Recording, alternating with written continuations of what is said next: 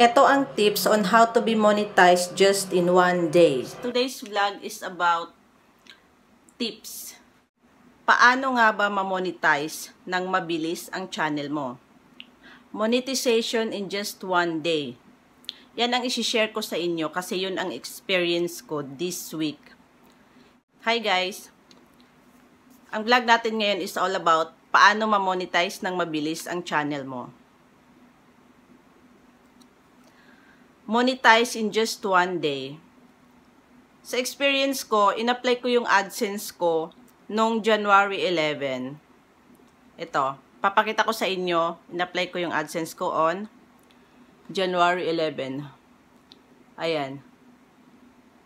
January 11, in-apply ko ang AdSense ko.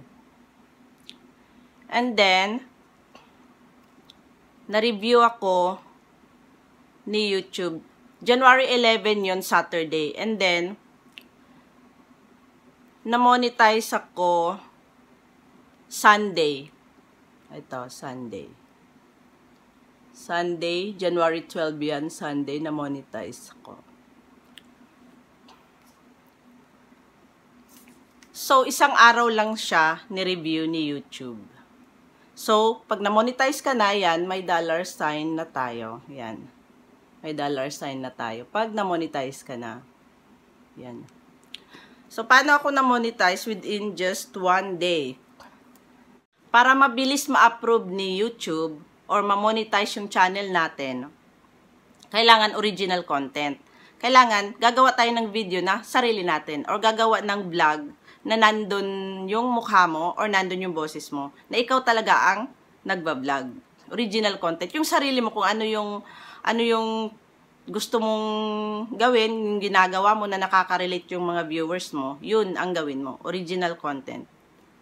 At iwasan ang reuse of content. Yung gagamit ka ng content ng iba, yung kukuha ka ng content ng iba, i-edit mo, matalino masyado si YouTube na didetect niya kaagad. So, mas maganda talaga pag sarili mong gawa na video or sarili mong vlog. Saka iwasan natin yung copyright or CPR.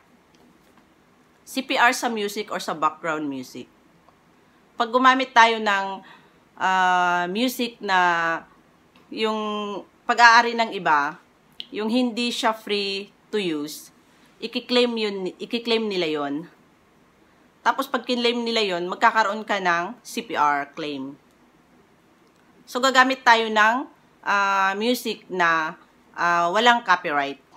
Meron naman sa ano eh, sa YouTube audio library non-copyright na mga background music for vlogs. Yun ang gamitin natin. At saka, pag nag-vlog tayo sa labas, at pag nakaka-capture tayo ng mga music na hindi ina-allow ni YouTube, yun, nakaka-CPR yun. Kaya iwasan natin yun. Para mas mabilis ma-monetize yung channel natin. So, ang experience ko is na-monetize ako, na-approve ako ni YouTube in just one day. So, yun, wala akong ano, wala akong CPR, wala akong copyright, and wala akong reuse of content kasi lahat original kong kuha. Lahat gawa ko na video. Saka lahat nandun yung mukha ko. Kaya, kaya mabilis ang pag-approve ni YouTube or pagka-monetize ko. So, that's all for our vlog. Uh, thank you very much for watching. Uh, sana may natutunan kayo kahit konti.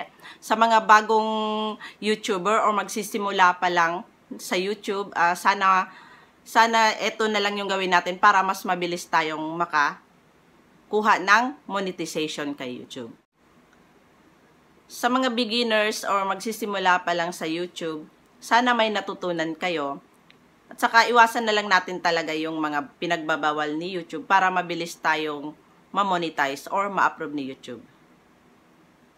That's all for today's vlog. Uh, thank you very much and kung bago ka lang sa YouTube ko, please like, comment, and subscribe. Thank you!